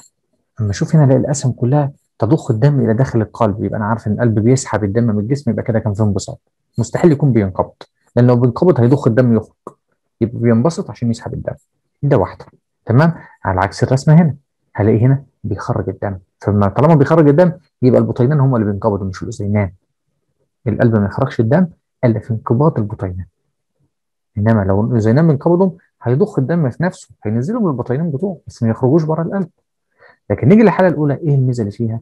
قلنا الثانية اللي موجودة عندنا سواء في الاذين هنا أو الاذين هنا. هنا الاذين هنا عندي واخد دوران هنا واخد دوران لكن هنا عندي ثانية وهنا عندي ثانية مباشره أعرف إن الاذين هنا بينقبض فبالتالي الدم بيندفع من الاذين ونازل عندي للبطين برافو عليك. جينا بعد كده رسم القلب. وعرفنا رسم القلب عندنا فيه ثلاث مستويات. عرفنا إن في رمز اسمه P وده بيرمز عندنا للحالة الأولى اللي هي انقباض الاذينات وألاقي عندي الكهرباء بتاعته أو الملي فولت اللي هي الكهربية بتاعت القلب تمام؟ وأنتوا طبعا عارفين الفولت اللي هو وحدة قياس فرق الجهد تمام؟ ده أخدتوها في الفيزياء. وبتقاس عندي بالملي لأن الكهرباء بتاعت القلب بالملي. ماشي؟ جزء من الألف بالنسبة للفولت يعني كميه صغيرة جدا تمام؟ طيب فبالتالي عندنا الاقي النبضة بتاعتي صغيرة لأن الكهرباء كانت محتاجة كهرباء بسيطة. لكن لما أجي بقى للعقده الأذينية البطينيه ولو أنتوا حد منكم فاكر الرسمه أو رجعنا لها تاني كده. تعالوا كده نرجع لها. مين أكبر في الحجم؟ هل العقدة تجيب أذينية ولا العقدة الأذينية البطينيه؟ طيب إيه الفايدة؟ قال لأن العقدة الأولانية دي بتدي ميه ملي فولت قليل يعني كمية الكهرباء أو النبضه الكهربائيه اللي طالعة منها ضعيفة تمام على قد بس الأذينان اللي عضلاته رقيقة لكن بالنسبة للبطينان عضلاته سميكة عضلاته قوية ومحتاجين نبضة قوية فنلاحظ إن الملي فولت بتاعها مستوى أعلى اللي خدناها بالرمز بتاعنا QRS تمام كده؟ فبالتالي يبقى النبضة بتاعت البطينان عندي أكثر قوة. فالعقده الجيب اذينيه ماشي؟ الجيب الأذينية البطينية تمام؟ الأذينية البطينية خدت النبضة من الجيب أذينية وقوتها زودت قوتها تمام؟ فبالتالي خلت انقباض البطينين عندي أقوى من انقباض الأذينية. رغم إن هي رقم اثنين في النبض ده هي واخدة الإشارة من الأولانية. لا بس لما اخذت التحفيز منها إدت قوة أكبر. عشان تخلي انقباض البطينين عندي أكثر قوة وأكثر ضخا للدم بالنسبة للحالة الأخيرة وهي انبساط عضلة قلبية عرفنا إن عندنا الرمز بتاعنا هيكون الرمز تي ده بالنسبة عندنا للرسمه بتاعتنا. رجعنا دخلنا بعد كده عندنا بالنسبة للمقارنة ما بين الشرايين والأوردة والشعرات الدمويه وعرفنا إن إحنا عندنا شريان ثلاث طبقات والوريد ثلاث طبقات ما فيش فرق في الطبقات الثلاثه اللي موجودين هنا وهنا. تمام؟ وعرفنا كل واحد منهم تعريف عندنا. بالنسبة للشريان والوريد النسيج الطلائي والنسيج الضم والنسيج العضلي كلهم موجودين عندي بالنسبة للثلاثه قلنا النسيج اللي بيمثل حاجز طبيعي بين خلايا الدم وخلايا الجسم. تمام؟ طب إزاي يا أستاذ؟ هل هنا في حاجز طبيعي بين خلايا الدم وخلايا الجسم؟ ما تعتبر العضلات ده هي المكونة برضه من خلايا الجسم. أنا عندي النسيج الطلائي. والنسيج الطلائي أصلا خلايا بس صف واحد من الخلايا الرقيقه تمام؟ فخلايا الدم هتكون ماشية بالداخل. وده النسيج الطلائي وده العضلات فيبقى ده حاجز ما بين الدم وبين خلايا الجسم. حتى لو جينا في الشعيرات الدموية اللي هي بتمثل الطرق والشوارع اللي ماشية في قلب الجسم جنب كل خلية في قلب الجسم برضه صف واحد من الخلايا بيفصل ما بين خلايا الدم اللي ماشية بداخله من الداخل تمام؟ و آه كل ده بنتكلم عن الطلائي تمام؟ كل ده كلامنا عن الطلائي تسنيم فإحنا بنقول عندنا النسيج الطلائي اللي هو الطبقة الداخلية هنلاقيه موجود عندي هنا؟ تمام؟ فاصل الدم اللي جوه عن العضلات. هنا برضه نسيج طلائي. فاصل الدم اللي جوه الوريد عن العضلات. تمام؟ لو بصينا في الشعرات الدموية هنلاقي برضه النسيج الطلائي هنا من جوه في دم ومن بره لازق في الحويصلات الهوائية لازق في خلايا الجسم فبالتالي بيحدث التبادل سواء الغازي أو الغذاء. يبدل غذاء يبدل فضلات يبدل الأكسجين يبدل ثاني أكسيد الكربون كل ده عندي بيكون السطح الملامس لخلايا الجسم كلها بيكون النسيج الطلائي. طيب بالنسبة للنسيج العضلي زي ما إحنا شايفين في الصورة عرفنا إن في فرق إن بالنسبة للشريان بيكون عضلاته سميكة. لكن هنا رقيقة. من حيث الاتساع الداخلي عرفنا بالنسبة للشريان بيكون الاتساع الداخلي أقل لكن بالنسبة للوريد بيكون عندي أكبر. تمام كده؟ طيب هنا أقل ليه؟ عشان يساهم عندي في ضغط الدم. تمام؟ يعني ضخ الدم يكون عندي أكثر قوة. بالإضافة لوجود العضلات النابضة اللي بتؤدي عندي لزياده ضخ الدم. طيب نسيج من ضمن تركيب الوعاء الدموي يساعد في الانقباض قلنا عضلات ملساء طيب يدي الأوعية الدموية مرونة يبقى إحنا بنتكلم عن نسيج الضغط. ها حد عنده أي سؤال لحد الآن يا بنات؟ أي سؤال أو استفسار في الجزئيات دي؟ لا تمام. لا تمام. تمام. نيجي عملنا مقارنة بين الثلاثه نشوف كده مع بعض. أول نقطة عندنا في المقارنة من حيث الوعاء الدموي. أول رسمة دي منين بدأ اسمه إيه أول وعاء دموي؟ شريان تمام. برافو. يبقى أول واحد شريان. تاني واحد شعيرات. برافو. تمام. ها وآخر واحد طبعا هيكون النوع الثالث اللي هو الوريد. لو جينا من النسيج الضم والنسيج الطلائي والنسيج العضلي هنلاقي النسيج الضم موجود عند ثلاثة النسيج الضم موجود عند الثلاثة هلاقي نسيج الضم موجود هنا ونسيج الضم موجود هنا. لكن بالنسبة للشعرات الدموية ما عندهاش نسيج ضم عندها طلائي فقط. تمام كده؟ بالنسبة لعضلات الملساء هنا موجودة بس سميك هنا موجودة أقل سمكا. تمام؟ لكن بالنسبة للنسيج الطلائي هلاقي النسيج الطلائي عندي موجود في الثلاثة يبقى النسيج الموجود عندي في الثلاث أوعية دموية أو الثلاث أنواع هو النسيج الطلائي. تمام؟ النسيج الغير موجود في الثلاثة أو غير موجود في أحدهما هنلاقي عندنا العضلي والضام مش موجودين في الشعيرات الدموية لكن موجودين في الشريان والأوردة تمام؟ بالنسبة للسمك عرفت إن عندي الطبقة بتاع النسيج العضلي بالنسبة للشرايين أكثر سماكة تمام؟ مما يكسب الشريان القدرة على الانقباض نابض لكن بالنسبة للوريد عندنا بيكون أقل سماكة ممكن يكون في نوع بسيط من النبض حركة بسيطة. تمام كده بس ما بتبقاش محسوسة زي الشرايين زي ما إحنا قلنا في نقاط النبض اللي موجودة في قلب الجسم زي الشريان اللي ماشي عندي هنا في الذراع ممكن نستشعر منه النبض أو الشرايين اللي بيكون موجودة حوالين الرقبة أو أحيانا بيكون عندي هنا في الدماغ في بعض الأحيان في حتت هنا كده ممكن أحط إيدي فيها وأقدر أستشعر النبض. الصمامات زي ما إحنا شفنا في الصورة مع بعض من شوية عرفنا إن إحنا عندنا الشرايين ما فيش فيها ولا الشعيرات لكن الأوردة هي اللي بتحتوي على الصمامات من حيث النبض عرفنا هنا بيكون نابض والباقيين عندي بيكونوا غير نابضين. في مشكلة بالنسبة للمقارنة بتاعتهم يا شباب؟ تمام هنا بقى قاعد يتكلم مع بعض عندنا بالتفصيل عن كل واحد منهم. إن الشريان بتقسم لفروع أقل فبنسميها شرينات والشرينات بتوصل لتفرعات أصغر لحد ما نوصل للشعيرات. تمام؟ وإن ضغط الدم بيكون في الشريان قوي لكن لما بننزل للشعيرات بيكون عندي أقل أو ضغط الدم في الشعيرات الدموية بيكون عندي أقل حاجة. فبقول وحين يدخل الدم إلى الشعيرات ينخفض ضغطه بصورة كبيرة. تمام كده؟ يعني إحنا لو جينا لماسوره الماء اللي في الشارع بتاع الوزارة هتلاقي الماء طالعه فيها بقوة لو حصل كسر هتلاقي الشارع كله اتغرق بسرعة. تمام؟ لو واحد اتقطع عنده شريان ينزف الدم بسرعة. لكن لو واحد اتقطع عنده وريد الدم هيطلع ببطء مش نفس سرعة الشريان طيب جينا بعد كده برضو عندنا بالنسبة للشعرات الدموية عرفنا إن الجدر بتاعتها رقيقة وقد تصل إن كرات الدم الحمراء تمر منها واحدة بواحدة وشبهتها لكم عاملة زي الباب الضيق هل ينفع اتنين يعدوا مع بعض؟ قلنا لا كل واحد بيعدي لوحده واحد ورا واحد آه فنفس الوضع. كرات الدم الحمراء لما تيجي تعدي في الشعرات الدمويه شوارع ضيقة. تمام كده؟ فكل كرة تعدي لوحدها. لكن لو بقى حصل عندنا جلطة زي اللي شفناها مع بعض في الصحة آه في جلطة يبقى في الحالة دي ممكن تيجي في المكان ده مش قادرة تعدي. فبالتالي كرات الدم الحمراء كلها تتحبس ورا منها. وده عرفنا إن هو بيكون شبكة كبيرة منتشرة في قلب الجسم والهدف الأساسي منها عملية التبادل سواء غازي أو غذائي أو فضلات. يروح للرئتين يبادل الأكسجين وثاني أكسيد الكربون. عن طريق الشعيرات. الدموية المحيطة بالحويصلات يروح عند خلايا الجسم يبادل الأكسجين مع الخلية يديها أكسجين وياخد منها ثاني أكسيد الكربون. والدم كمان بيكون فيه سكر يدي الخلايا وياخد منها الفضلات. يروح عند الكليتين يتخلص من الفضلات النيتروجينية في الكوبيبة لو أنتم متذكرين. بالنسبة عندنا الأوردة. عرفنا إن الأوردة عندنا بيكون ضغط الدم في الشعرات الدمويه منخفض يبدأ يزيد في الوريد اللي هو الوريد الصغير وبعد كده يبدأ يزيد عندي في الوريد نفسه تمام؟ والوريد بيبدأ يسحب الدم ويطلعه لفوق. عرفنا إن الدم عندنا في قلب الوريد حركته بتكون ضعيفة فلذا بيعتمد عندي على قوة سحب القلب أثناء انبساطه. القلب لما بينبسط فبيحاول إن هو يسحب الدم بالإضافة إلى وجود الصمامات. واللي بيدعم عندي دور الصمامات في إن هي تسمح للدم بالمرور في اتجاه واحد أو اندفاع عكس الجاذبية وجود العضلات الهيكلية بجوارها. فلذا بننصح دايما بممارسة الرياضة بنشاط بالحركة. لأن كل ما تتحرك كل ما العضلات الهيكلية المحيطة بالأوعية الدموية اللي موجودة عندك تبدأ تتحرك فتضغط على الأوردة فالأوردة تبدأ تضخ الدم فتلاقي الدم بيتحرك عندك بسهولة وفرصة إصابتك بالجلطات هتكون عندي أقل ما يمكن. لكن الشخص اللي بينام فترات طويلة فرصة إصابته بالجلطات بتكون كثيرة لأن جسمك ما بيبقاش حاجة كثيرة للغذاء ولا الاكسجين يعني أنت ما بتقومش بأي حركة فبالتالي بيقل معدل الضخ أو ضربات القلب أو ضغط الدم. وعودة الدم برضه بتكون عندي بطيئة نتيجة إن أنت ما بتحركش العضلات ففرصة إن الدم يترسب أو زي ما شفنا مع بعض في الصحة لما كنت جايب لكم الصورة بتاعت الوريد هنلاقي عندنا مشكلة فيه.